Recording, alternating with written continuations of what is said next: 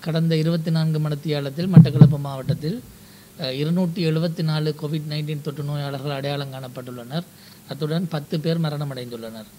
அஹ், தொற்றுக்குள்ளானவர்கள் குறிப்பாக இருபதுக்கு மேற்பட்ட தொற்றுக்களை உள்ள பகுதியான மட்டக்களப்பு எம்ஓஹெச் பிரிவில் ஐம்ப ஐம்பத்தி ஆறு கோவிட் நைன்டீன் தொற்று நோயாளர்களும் களுவாஞ்சிக்குடி எம்ஓஹெச் பிரிவில் நாற்பத்தி ஏழும் செங்கலடி எம்ஓஹெச் பிரிவில் நாற்பத்தி எட்டு வவுனதீவு எம்ஓஹெச் பிரிவில் இருபத்தி ஏழு வெள்ளாவளி எம்மோஜ் பிரிவில் இருபத்தி எட்டு.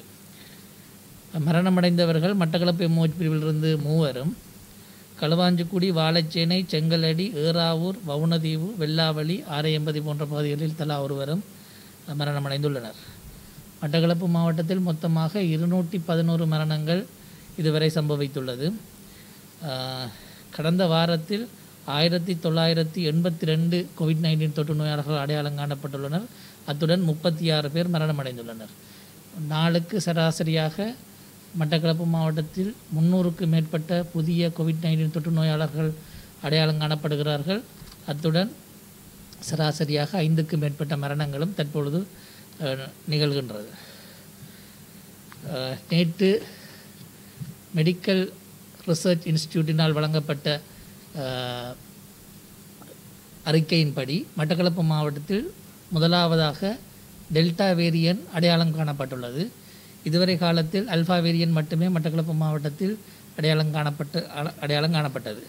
அல்ஃபா வேரியனோடு ஒப்பிடும்போது டெல்டா வேரியன்ட் தொட்டும் தன்மை அதிகமாகவும் மரண வீதம் அதிகமாகவும் காணப்படுகிறது. ஆகவே மக்களாகிய நீங்கள் வீட்டில் இருப்பதன் மூலம் மட்டுமே கோவிட் நைன்டீன் தொற்று நோயை கட்டுப்பாட்டுக்குள் கொண்டு வரலாம். அத்துடன் சுகாதார நடைமுறைகளை இறுக்கமாக பின்பற்றுங்கள்.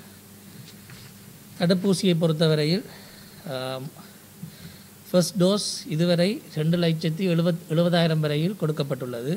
இது தொண்ணூற்றி ரெண்டு விதமான முப்பது வயதுக்கு மேற்பட்டவர்களை உள்ளடக்கியுள்ளது.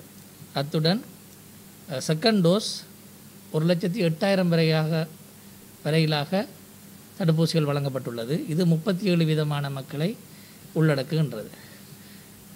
செகண்ட் டோஸ் இதுவரையில் ஒரு லட்சத்தி பதினையாயிரம் தடுப்பூசிகள் கிடைக்கப்பெற்றன. நாளை இன்னும் ஒரு லட்சம் கிடைக்கப்பெற இருக்கின்றது.